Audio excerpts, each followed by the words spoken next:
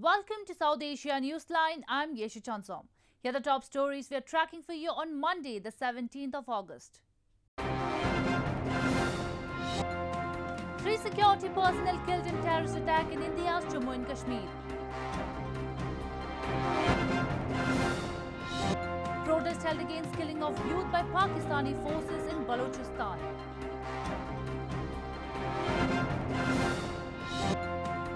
Death toll rises to at least 22 in Nepal, landslide several still missing.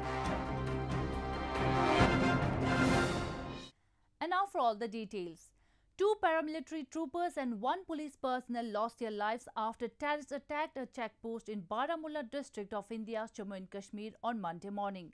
Later in the day, two terrorists involved in the attack were neutralized by security forces during massive search operations that were ongoing till the last reports came in.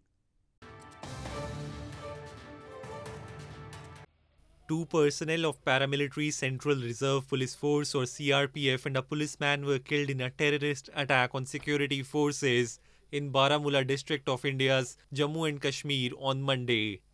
The security personnel sustained critical gunshot injuries as the terrorists attacked a joint patrol party of the CRPF and the police at Kreeri area of Baramulla district. The personnel succumbed to their injuries at a hospital. Later in the day, two of the terrorists involved in the attack were neutralized during cordon and search operations that followed, a senior police official said. Operations were still underway till the last reports came in. काफी घना बगीचा और जो Apple का है उसमें से तीन मिलिटेंट आए और आर लेकर सीआरपीएफ पुलिस के नाका पर उसको अंधाधुंध फायरिंग शुरू कर दिया जिसमें हमारे दो सीआरपीएफ के जवान और एक अ, हमारे पुलिस के शहीद हो गए अभी ट्रैकर डोग आप लोग देख रहे हैं मंगाए हम लोग एरिया कोर्डन कर लिया this was the second attack on security forces in Kashmir Valley in the past four days. On August 14, two policemen were killed and another injured at Naugam bypass near Srinagar city in a similar attack. India and Nepal on Monday held a virtual meeting to discuss ongoing bilateral economic and developmental projects in the Himalayan nation. The meeting carried out a comprehensive review of bilateral economic and development cooperation projects since its seventh meeting held on July 8 last year. India and Nepal on Monday held the eighth round of Oversight Mechanism meeting, in which the two sides discussed the progress made in India assisted development projects in the last one year. The meeting mechanism was set up in 2016 to monitor the progress of various India assisted projects. The meeting carried out a comprehensive review of bilateral economic and development cooperation projects since its seventh meeting held in July 8 last year. The Indian Embassy in Kathmandu said in a statement the co chairs noted the progress made in the development projects in the last one year, including reconstruction of 46,301 earthquake affected houses out of the 50,000 houses committed by India in Gorkha and Nuwakot districts, the operationalization of Motihari Amlekhganj cross border petroleum products pipeline, the integrated checkpost at Biratnagar, Nepal also noted with appreciation COVID 19 related assistance, including the supply of medicines and medical equipment to Nepal by India. This came two days after Nepal Prime Minister KP Sharma Oli called up his Indian counterpart Narendra Modi to wish him on the occasion of Independence Day. Heavy rains across India's southern Telangana province has led to flood-like situations in several districts and water levels has risen in various reservoirs. The weather office has predicted more rains in the next three days and a high alert has been sounded in many areas of Telangana. Heavy rain in India's several southern states since last week has left many villages marooned with overflowing streams and rivulets. Several areas had been submerged due to heavy rain since Friday night in Telangana state and parts of Andhra Pradesh state. The Godavari River has been in full spate inundating several villages all along its course after monsoon rains poured over several parts of the state, authorities informed. The Indian Meteorological Department on Sunday forecast light to moderate rains or thunder showers in many parts of the state at least till Thursday. Meanwhile, the situation in India's western Surat city, country's diamond hub, has been grim for days as incessant rainfall is not allowing flood water to recede. Aerial visuals of the city on Sunday showed water logging in most areas of the city with submerged buildings, vehicles and trees.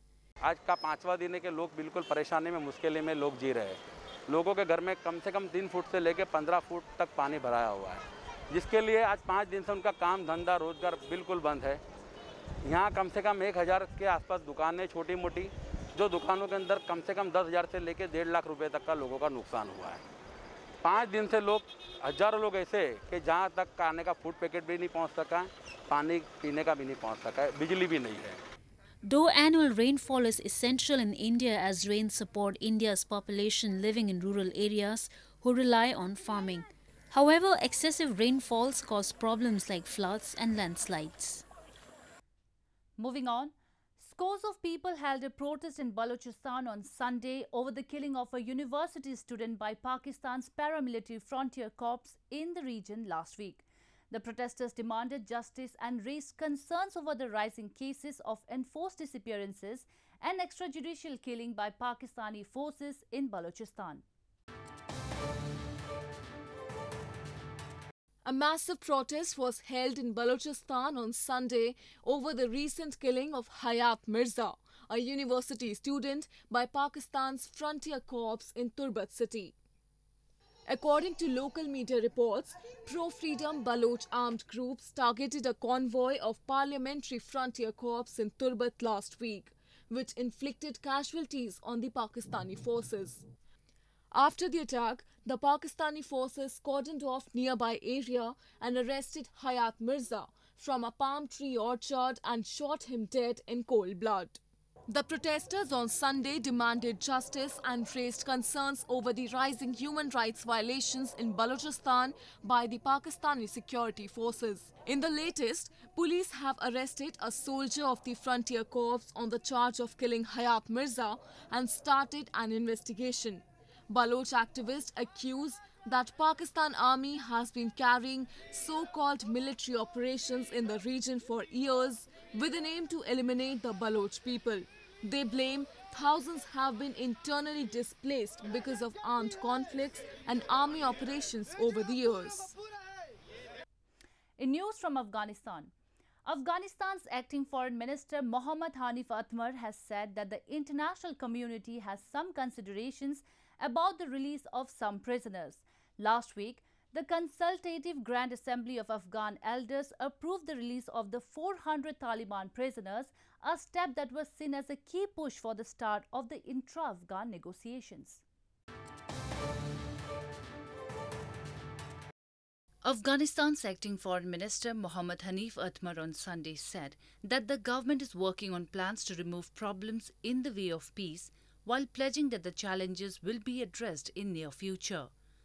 The Loya Jirga, the Grand Council, put five conditions on the Taliban besides approving the release of 400 of their prisoners, Atmar said, while addressing a press conference in Kabul.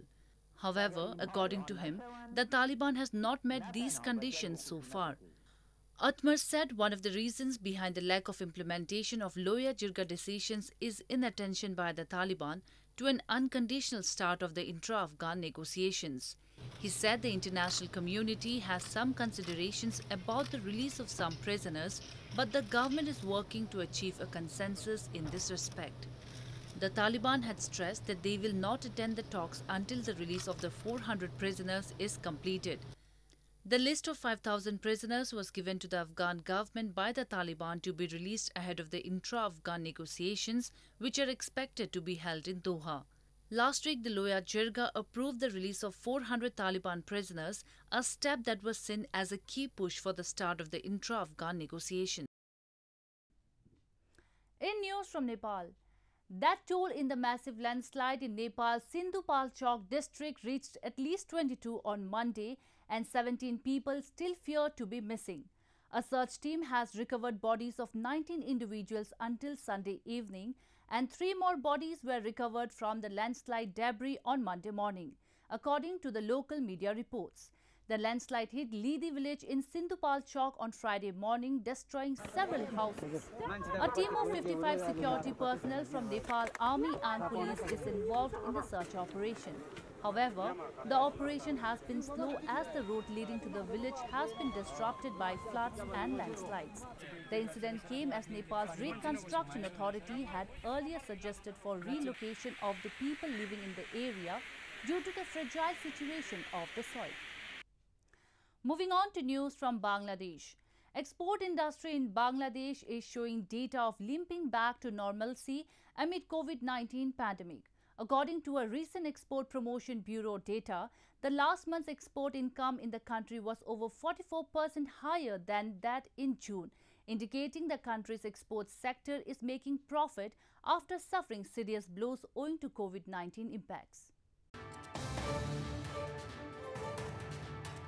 Bangladesh's exports in the first month of the current fiscal year reached about 4 billion US dollars, registering a meager 0.59% growth, showed the Export Promotion Bureau or EPB data recently.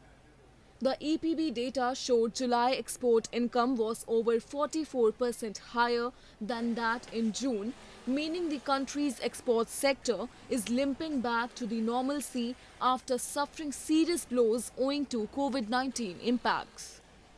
Of the total earnings, the EPB data showed the country's income from ready-made garment items including knitwear and woven stood at 3.24 billion US dollars. Due to the economic impacts of COVID-19 in Bangladesh and elsewhere in the world, Bangladesh export earnings in the past financial year sank about 17%, the lowest since the 2014-15 fiscal year. According to officials, Bangladesh's export income plunged as earnings from garment mainly experienced severe slowdown after buyers from the United States and the European Union, which are by far the largest destination for the country's garment exports, have cancelled their orders in the wake of COVID-19. The garment sector accounts for around 80% of Bangladesh's annual exports and generates employment for some 4 million workers, while women make up around 80% of the garment workforce. Pilgrimage to the holy cave shrine of Vaishno Devi in India's northern Jammu and Kashmir resumed on Sunday, nearly five months after being suspended in March due to coronavirus pandemic. However, there will be some restrictions including less number of people allowed to visit the shrine every day, keeping in view the safety guidelines to curb the spread of COVID-19. The famous cave shrine of Vaishno Devi situated in Katra town of India's northern Jammu and Kashmir reopened for pilgrims on Sunday after being suspended for nearly five months due to the coronavirus pandemic. The shrine in the Trikuta Hills attract a large number of devotees from across the country every year. However, with the coronavirus cases rapidly rising in the country, the scene this year is different as only 2,000 devotees would be allowed to visit the holy place per day.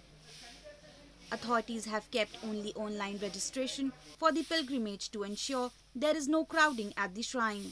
Without face mask किसी को allow नहीं किया जाएगा sanitiser सब जगह लगाए गए हैं उनको यूज़ करना होगा और वहाँ पर यात्रा के टाइम में प्रॉपर सोशल डिस्टेंसिंग का पालन करना होगा The pilgrimage that was suspended in March will allow 1,900 devotees from Jammu and Kashmir Union Territory and rest 100 from outside the territory for the first week. Only those who will test negative for coronavirus will be allowed to go on the pilgrimage. हमें sir बहुत खुशी है इतने time बाद जो माँ का दरबार खुला हमें यही था कि हम पहले जाएं और पहले जाके माँ के दर्शन करें India is the world's third worst hit country behind only the United States and Brazil, with more than 2.6 million confirmed coronavirus cases. Well, that's all we have for you from South Asia this evening. Now our viewers can watch the show on SouthAsiaNewsline.com.